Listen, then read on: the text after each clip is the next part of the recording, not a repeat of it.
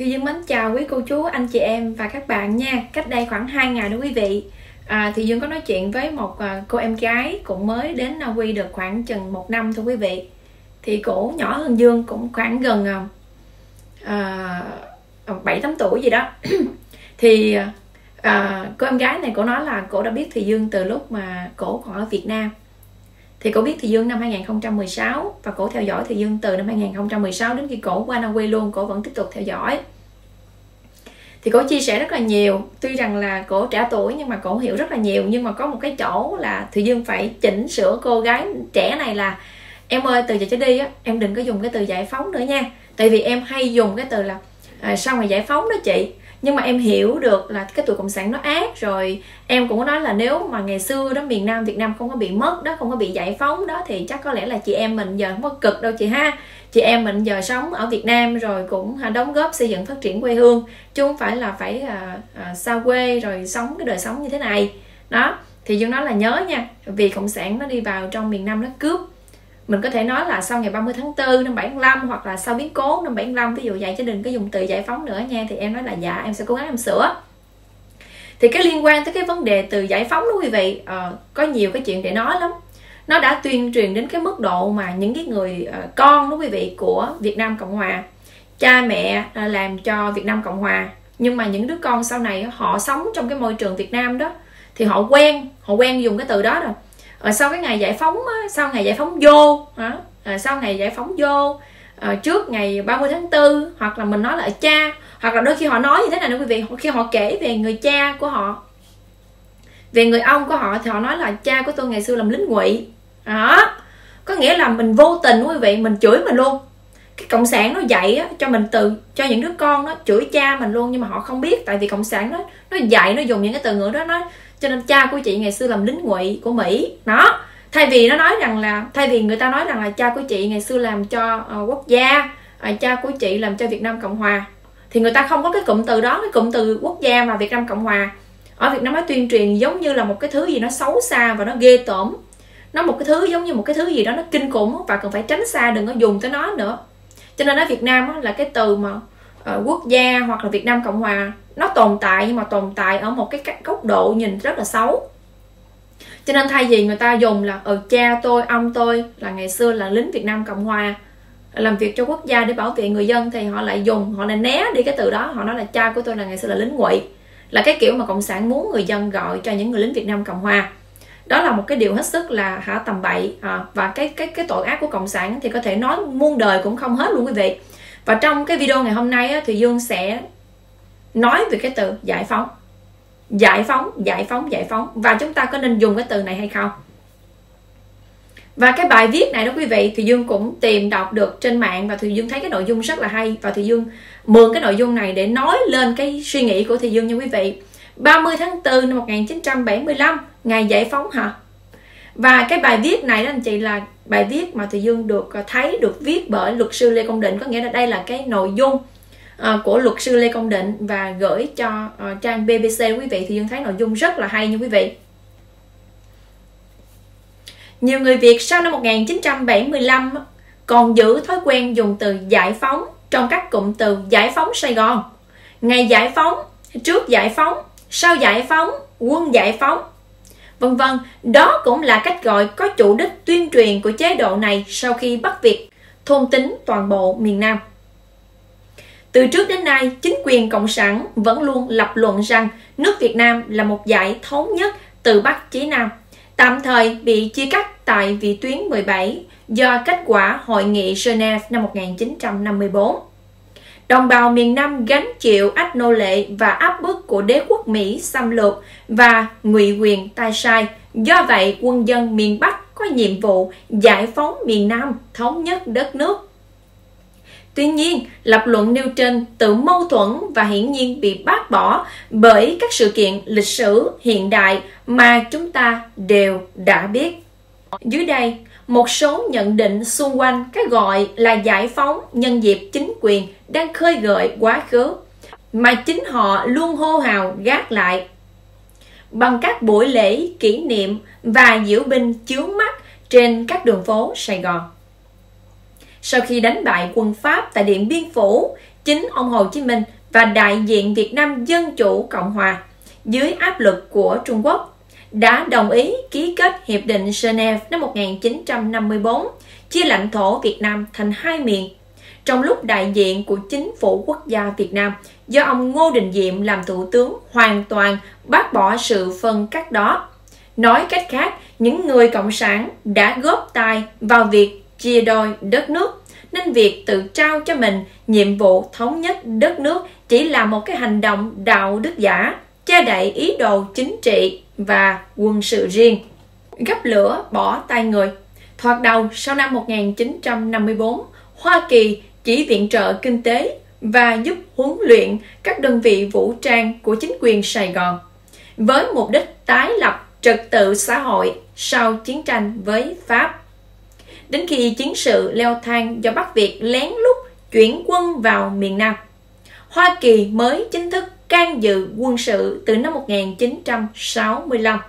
Tuy nhiên, sự tuyên truyền về đế quốc Mỹ xâm lược đã được những người cộng sản tung ra ngay từ lúc hiệp định Geneva còn chưa ráo mật, tức có sự hoạch định cố ý từ trước nhằm chuẩn bị nguyên cớ phát động chiến tranh. Một hành động gấp lửa bỏ tay người không hơn không kém của giới lãnh đạo Bắc Việt lúc ấy.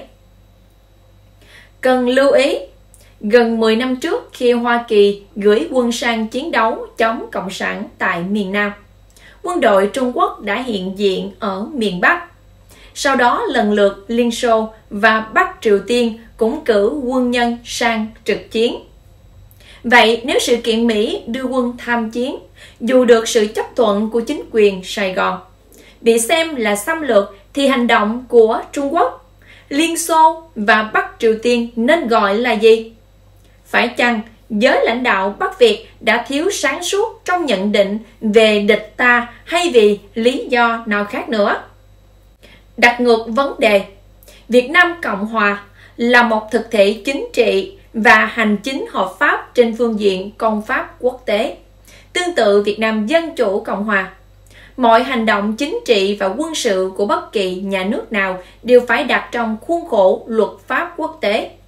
Nên việc tự trao nhiệm vụ giải phóng miền Nam không đương nhiên biện minh quyền sử dụng vũ lực xâm chiếm lãnh thổ của quốc gia có chủ quyền khác.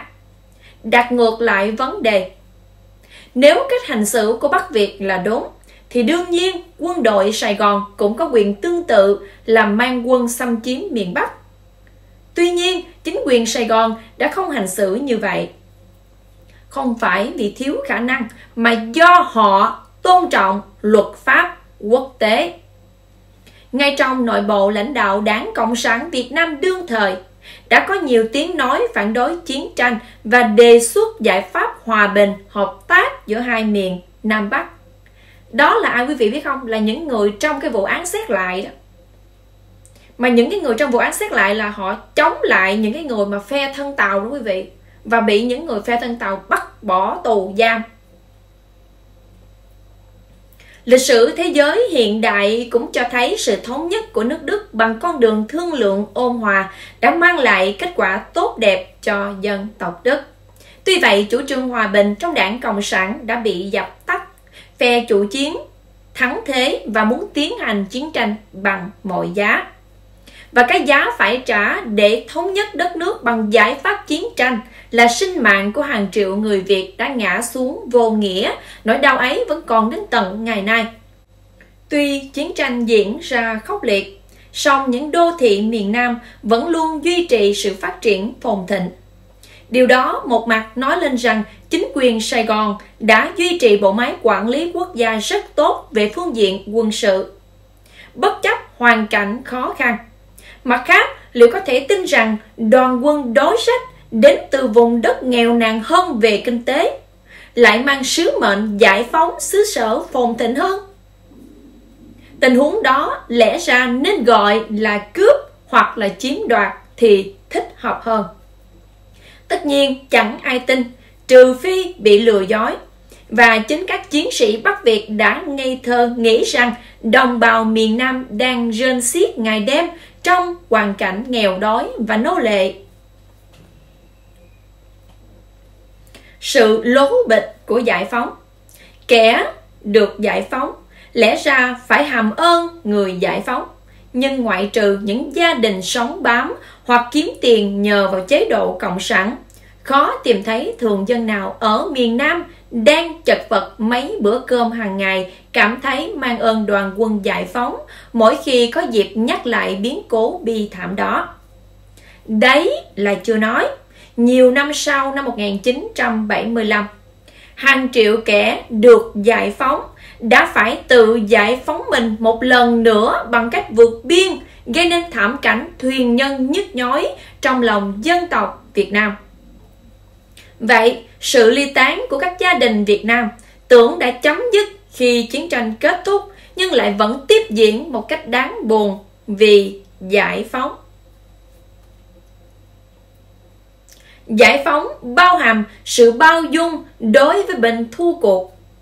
Nhưng thay cho chính sách hòa giải dân tộc là các trại cải tạo mọc lên như nấm sau cơn mưa để giam cầm không qua xét xử hợp pháp các quân nhân và công chức của chế độ Sài Gòn. Mang hận thù và chia sẻ đến giữa lòng dân tộc thì giải phóng ai? Và vì cái gì? 40 năm sau biến cố giải phóng. Xã hội ngày càng trở nên vô đạo đức, nghiêm trọng.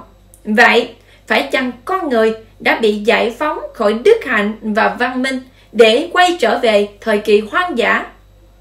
Thời trung học, tôi cũng quen dùng từ giải phóng một cách vô thức như bao người. Song từ lúc vào đại học, do ngán ngẩm lối giáo dục đầy dối trá, tôi bắt đầu tự tìm hiểu sự thật lịch sử để trang bị lại kiến thức cho mình và nhờ đó nhận ra sự lố bịch của hai chữ giải phóng. Tất nhiên, lịch sử không có chữ nếu, nhưng giá mà không có cái gọi là giải phóng ấy từ năm 1954 rồi năm 1975, hẳn đất nước không trì trệ và lạc hậu như ngày hôm nay. Mà thay vào đó, người Việt ở các giai tầng xã hội khác nhau đã cùng nắm tay đưa con thuyền tổ quốc đến bến bờ mới của nền thịnh trị và xã hội thịnh vượng từ lâu.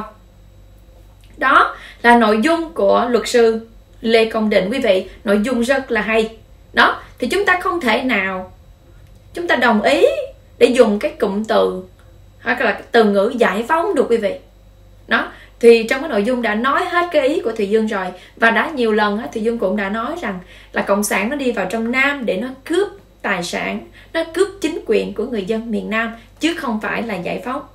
Từ một cái kẻ tay trắng không có cái gì trong tay hết đi vô để mà giải phóng một gia đình có đầy đủ tiện ích không thiếu cái gì hết rồi bắt đầu là mình rồi cái những cái tên mà đi đi giải phóng đó đem người thân của họ do trong cái nhà đó ở đẩy những người à, đang ở trong cái nhà đó đi ra chỗ khác thì sao gọi là giải phóng quý vị đó là đi cướp đó, chúng ta hãy tỉnh táo lại để chúng ta thấy rằng cái việc giải phóng đó là cái sự tuyên truyền dối trá mà thôi Cảm ơn quý vị đã dành thời gian để theo dõi cái video này của Thị Dương. Hãy ủng hộ Thị Dương bằng một cái like. Và nếu quý vị chưa nhấn ghi danh kênh thì hãy nhấn ghi danh để theo dõi những video tiếp theo của Thùy Dương.